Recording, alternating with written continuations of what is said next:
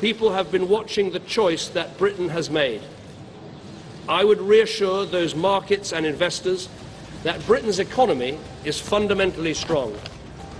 But the British people have made a very clear decision to take a different path. And as such, I think the country requires fresh leadership to take it in this direction. Britain has spoken, but the shockwaves will be felt throughout the world. While the United Kingdom's parliament considers its next steps towards a Brexit, African economies are already starting to feel the brunt.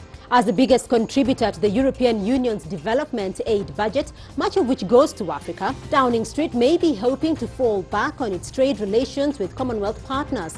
But others say that the cost of Brexit is yet another reason for Africa to look east for economic support.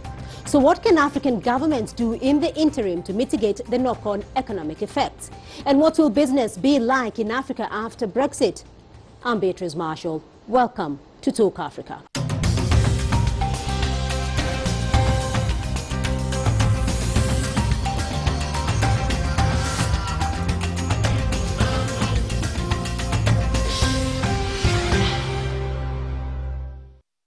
Now, after the historic Brexit vote, economists are warning that Britain's exit from the European Union could have widespread implications for the global economy over the next three years. Africa has strong trade ties with Europe. And just two weeks ago, a new partnership was signed between the European Union and several southern African countries. As CCTV Sumitra Naidu tells us, many are worried about this partnership going forward.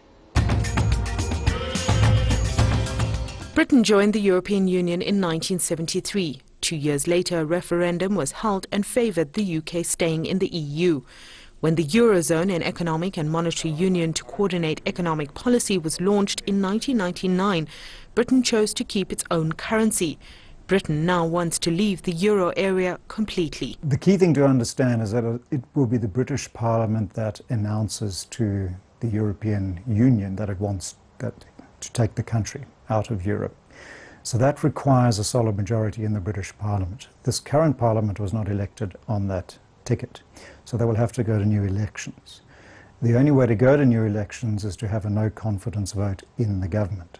Now, given that the Prime Minister has resigned and it's not obvious who would take his place, it's possible they may get that no confidence vote, but then they would have to go to a national election. Global markets are in turmoil. For Africa, the worry is now over trade deals that may have to be renegotiated. Until the exit package is agreed upon with the European Union, Britain will remain a member of the European Union. So it will be part of the common market until the exit button is actually pushed. Um, the next question then is what replaces that? And we we're talking a minimum of, of three years, I would say, before that button is, is actually pushed. South Africa is Europe's largest trading partner in Africa. For South Africa, though, it means that we would have to look to negotiate a separate trade deal with the UK. What that will do is it'll obviously stifle trade in the short term, and it depends on what trade deal we can get in place with the UK will determine how successful we are in accessing the UK market going forward. Once Britain leaves the EU, it will no longer be part of the Eurozone and will lose preferential trade partnerships with the world's biggest free market.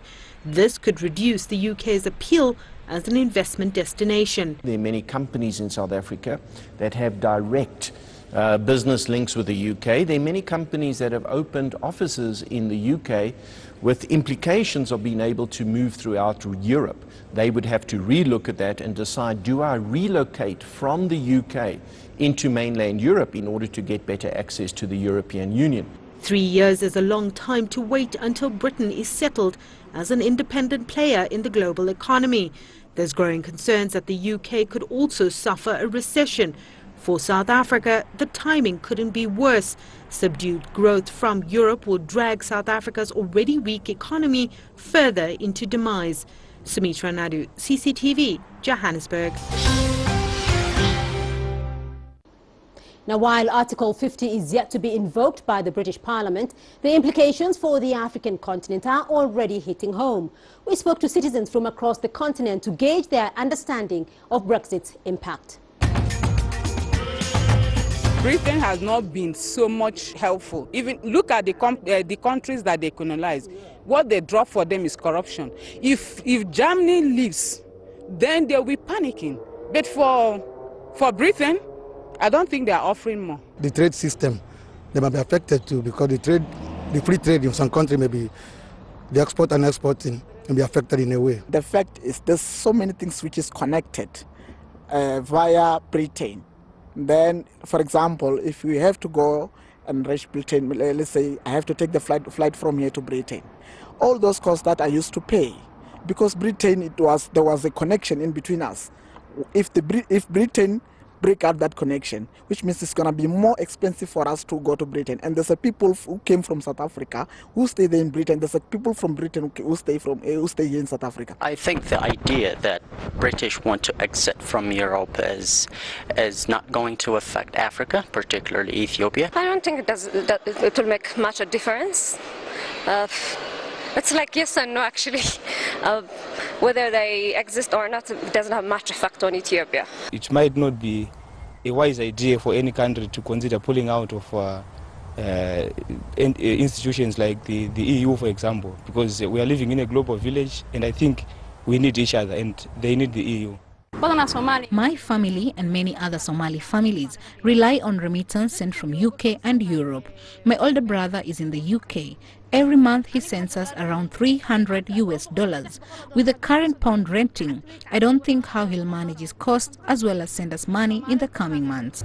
Largest uh, foreign direct investment Nigeria has comes from Britain so definitely what it portends for Nigeria is that there's going to be a drop in that foreign direct investment from, from Britain. So that's a negative impact for Nigeria. Africa sells its products the European Union. They have got to negotiate. Now they are going to negotiate differently with Britain, which is in the disadvantage of Britain. But when they negotiate with a group like the European Union, like the African, Air, Caribbean, and Pacific, they come in on the same terms then the countries benefit. So this is going to have problems on Britain because Britain will have to negotiate differently with different countries. The shocks are there and they are felt everywhere, but I'm sure the situation will get calmer and things will sort of normalize. But the decision is fundamental and they are already talking about having another referendum because I think you have over a million people already uh, with a petition to say, no, did we make the right decision? So let's watch the space and see. We're going to take a short break now, but when we come back, my expert guests will help chart the way forward for Africa after Brexit. Stay with us.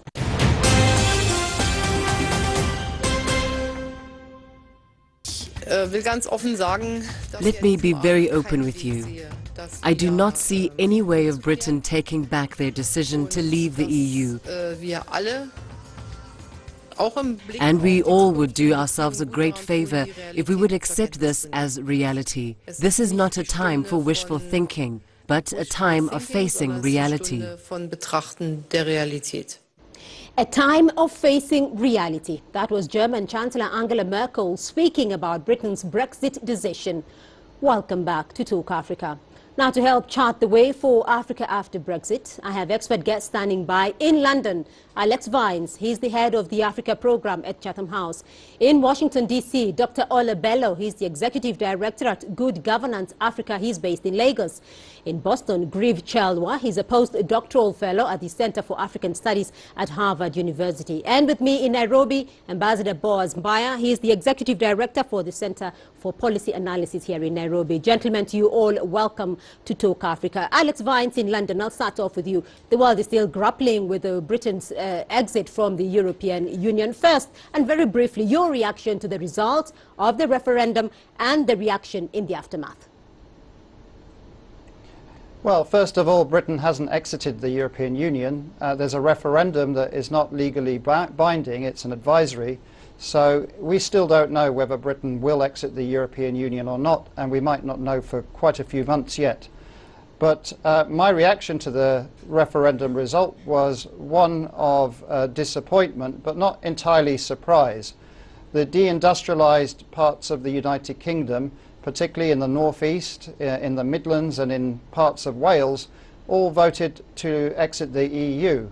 And that's to do with class and to do with inequality and to do with the lack of opportunity.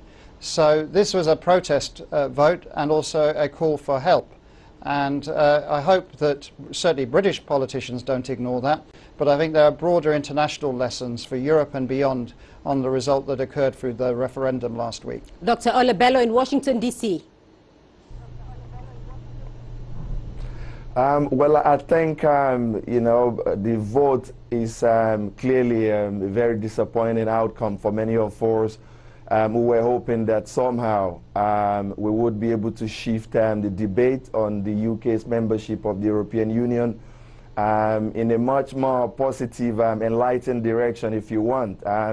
ultimately, I think the outcome represents an exercise in being counted, if you like, um, because there are legitimate concerns that voters have with regards to um, runaway um, uncontrolled immigration. But I think the beauty of the European Union um, transcends all of that. Um, let's not forget about it. Um, this has been the longest period of peace in Europe after the World War II, and I think in many senses the European project has contributed to that. Now that's not a question you can put down to a yes or right. no answer. Um, and I think some of those nuances um, got lost a bit. But like Alex, I hope that we can find um, a positive um, or a more inclusive um, solution on a way forward for everyone. Right. Grieve Chelwa in Boston. Um, well, I mean, to, to start with, as an economist, uh, my first reaction was to sort of try to figure out uh, the impact of uh, the referendum result on, uh, say, African economies. And uh, precisely just to think whether this is going to have any serious impact, uh, what the impact will look like. But like my other two colleagues have said, I think the, the big thing here is to figure out, as we try to integrate in Africa, what sort of lessons can we learn from uh, sort of Britain's relationship with the European Union. Ambassador Mbaya. Well, I found it uh, unexpected, disappointing, but I think a little bit in keeping with the British tradition of opt-out uh, uh, options within the EU. Uh, it looks like uh, Britain has not grasped the meaning of globalization, and I suspect it is going to hit them uh, quite hard. And there is a bit of rethinking. That's why they cannot invoke Article 50 uh, yet, because uh, as Alex said, is an advisory uh, referendum, and who knows, they could change their, their mind about it. I, I think they, there is quite a bit to lose by Britain if they move out, yes. So, Alex Vines, the, the three issues here that have come out, the, the issue of inequality, the issue of uh, integration, and the issue of the economic impact here. Uh, let's start off with that whole question of immigration that was topping the debate there in the run-up to the uh, referendum. What's the post-immigration, the immigration issue going to look like now after this referendum vote? Yeah, uh, immigration was one of the drivers for the vote to exit the EU. There's un undoubtedly that's the question, and it's more uh, openly discussed now in the UK than it has been for, for a long time. Uh, but but this, let, us be clear, this is not about African immigration. This is about immigration, migrancy from members of the European Union. That's where the biggest fear uh, was played. It's about Poles, Lithuanians, Estonians, uh, and other members of the European Union getting jobs and, uh, and making lives in the United Kingdom and it was particularly hard felt in the marginalised, uh, deindustrialised parts of the UK where competition for jobs and opportunities are so intense. Uh, Britain's going to find it very difficult, I think, if it wants to remain with free and unfettered access to the common uh, economic area of the EU, so the common market, with, uh, if it wants to put barriers up on European uh, migration and the movement of people and goods. So I think some of the promises that have been made in this Brexit campaign right. by the Leave campaign that they would be able to control European Union migration into the EU is going to be very difficult to actually implement. And so, again, I think this is one of the reasons why this whole thing will probably need to be politically rethought in London. Grieve Chelwa, though, that, that's mentioned. Uh, Grieve Chelwa to you, though, uh, Alex does mention that it is actually about immigration from uh, other European Union countries, but there are increasing numbers of African immigrants coming in through North Africa. What's your take? Um, like, uh, I mean, first of all, I'm not an, a migration expert, but uh, I think I'll take Alex's word for it. Uh, my reading is precisely what he said, that is really much a debate about immigrants from most rest of Europe competing for jobs in Britain. And uh, I think over the last decades, uh, Britain has deindustrialized, and then uh, jobs, probably there are more jobs in the services sector, and those jobs require people who are sort of highly skilled. And if there's a skills mismatch, or probably your education system is not producing enough skills, then you have a feeling of dis discontent. So in some ways, I sort of echo Alex's take on this. Dr. Ola Bello? Well, um, my sense is that, um, you know, the whole debate about the um, uncontrolled immigration or badly managed immigration in the UK and the way that um, the average citizen somewhat holds the European Union um, responsible um, for this unwelcome state of affairs is actually representative, um, representative um, of the way that the larger debate on, on, Brit on Britain's membership of the European Union has played out. There are a lot of nuances in this debate which I think um, has first been difficult to convey to ordinary voters, but also um, politicians on both sides um, of this debate in the way we've seen it played out um, sometime. Um, played very loose with the fact, and I think that has not helped in terms of the ultimate outcome. All right, uh, Dr. Uh, Ambassador Mbaya. I want to agree with Alex on the question of immigration, but I think the immediate trigger of uh, sentiments and emotions is really the number of refugees and uh, who are coming from Middle East and also from Africa. And to a certain extent, Britain is uh, responsible for the destruction of uh, stability in Libya, and that's why Libya itself cannot control uh, migrants wanting to move to to Europe. So it's a combination of factors, and whether we want to focus on uh, European uh, uh, migration alone, it, it, I don't think is enough. We need to take it in, in context in terms of the overall immigration uh, factors that are coming from outside uh, Europe itself. Right. Uh, Dr. Grieve Chelwa, though, the, the, the, whole question of integration and economic integration in particular, because African countries have been pushing towards uh, enhancing their regional economic uh, communities, and they've been looking at a deeper integration, economic, political, as the way forward. Uh, uh what are we learning, though, from the European Union regarding that? Um, I think, I mean, the thing is, uh, integration, economic integration is incredibly desirable. If you think about Africa, right, uh, there's very little intra-African trade that currently takes place. And this is a pity because uh, the African market is about 1 billion people strong, and that's like a really big market that African countries can tap into. Uh, so it would be really nice if we could integrate economically, sell lots of goods and services to each other. But at the same time, I think what we learn from Britain's experience is that we should also not forget about uh, the, the, less, the less of our people, right? So in Britain's case, the discontent, like Alex has said, is coming from people who feel left out, right?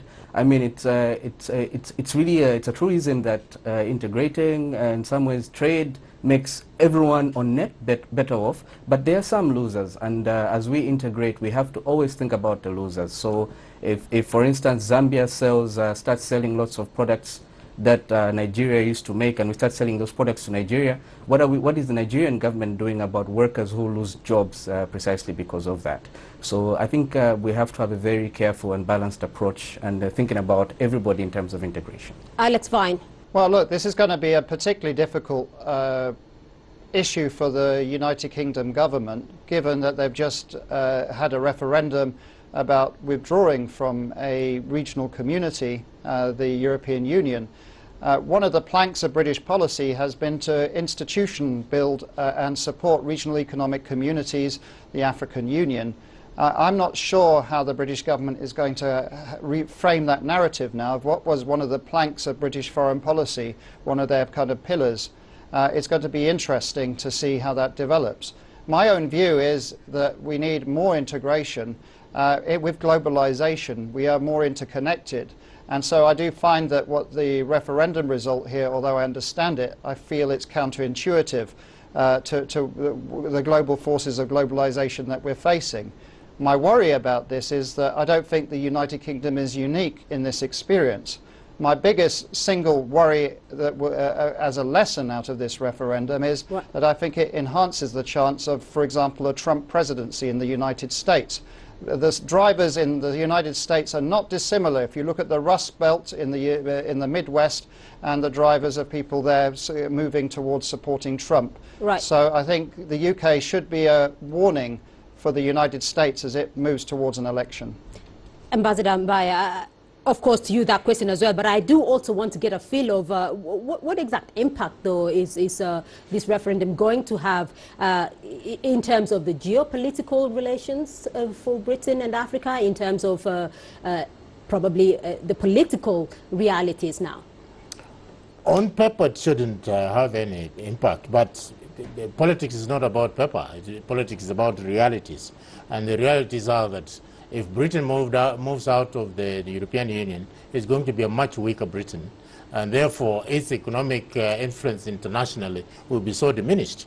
Uh, I, I, want to believe that uh, the, the, the, referendum was probably won on local issues, like Alex said, in terms of the inequalities between the, the poorest parts of Britain and, and the, the, the richer parts.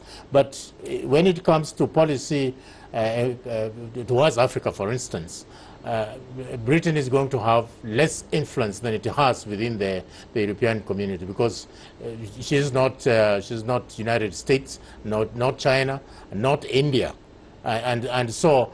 Uh, Britain's voice will be much more diminished than it, it has been within the U European Union. I agree with Alex. I don't know what policy they're going to pursue. And, and I think to be a whole realization and probably re-examination of uh, British foreign policy towards uh, developing countries in general.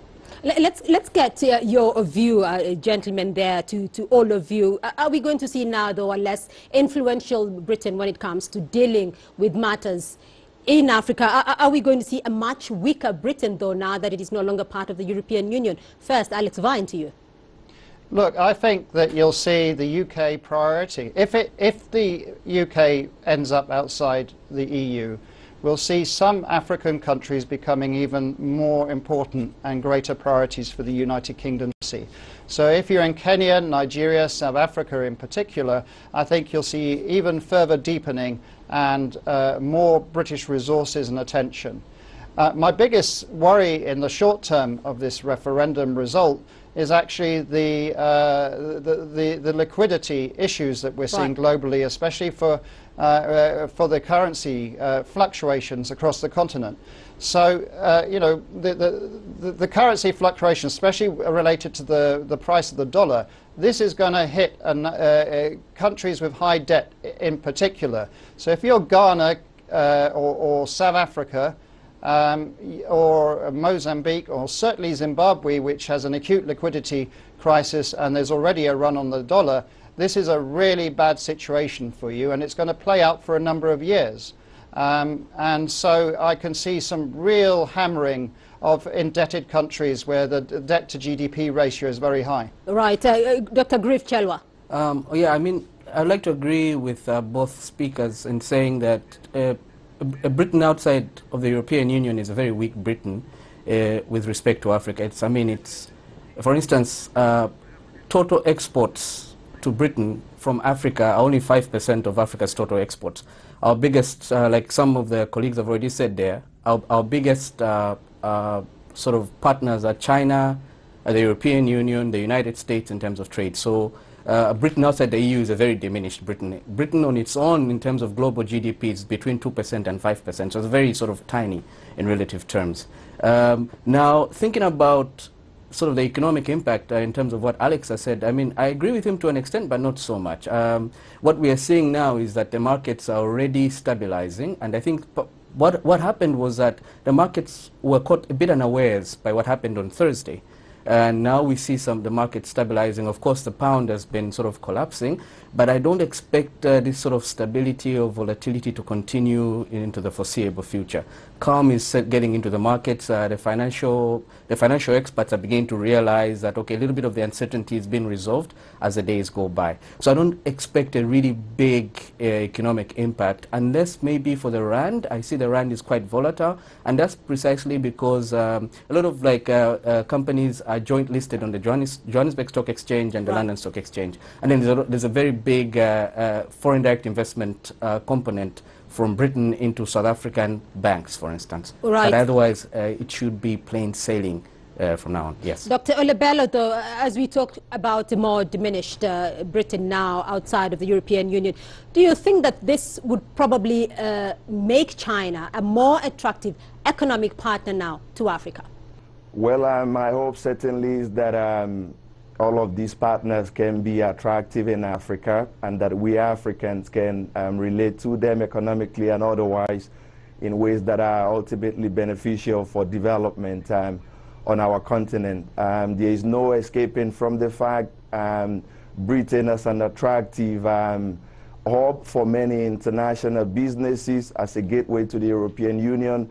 I think um, is that much more diminished when the United Kingdom leaves the European Union, and as it seems quite likely now. but I think there are also opportunities that players in Africa can explore um, pragmatically, um, Alex mentioned um, Kenya, Nigeria, Ghana, and the rest of them um, may be um, becoming more attractive for the European, um, for, for the United Kingdom. I think it caught the other way as well. If you look at what the Buhari administration has been trying to do in Nigeria, a country with huge agricultural potential, frittered away a lot of the um, you know petrol dollar that were had boom years. Right. Now Nigeria needs to return to agriculture big time, and I think a market like the UK might just provide that sort of outlet they've been seeking with the European Union, which has really not materialized um, over the past few years. Ambassador Mbaya, you have the final word. Let me say this. One, uh, as I came to the studio, there were reports that important companies, including British companies, who are moving out, who are considering moving out of London into the European Union uh, to create their headquarters there. It means shifting financial services from London will weaken the British economy uh, it will make it smaller. Therefore, what Alex is suggesting may not even happen because Britain will not have the money to uh, finance all those uh, aggressive foreign policies in Africa. The second thing is that the referendum is likely to tear Britain itself, the United Kingdom itself, into pieces. Scotland have expressed uh, anger at the, the results, so has Northern Ireland. And, and I think if you have uh, disintegrating United Kingdom, it is going to play very little ro role uh, internationally. And therefore, uh, diminished position by, by Britain is a very large, likely event to, to come from out of this Brexit. All right, and yes. gentlemen, thank you very much. Uh, that's all we have time for this weekend. Thank you to my guest for your insights. In London, Alex Vines, he's the head of the Africa program at Chatham House. In Washington, D.C., Dr. Ola Bello, he's the executive director at Good Governance Africa based in Lagos. He's joining us today from Washington, D.C. In Boston, Grieve Chelwa, he's a postdoctoral fellow at the Center for African Studies at Harvard University. And with me here in Nairobi, Ambassador Boaz Mbaya, he's the executive director for the Center for Policy Analysis. Thank you very much for joining us. And remember to join the conversation online through Facebook, Twitter, and YouTube. And do join us again next week for another edition of Talk Africa. Goodbye.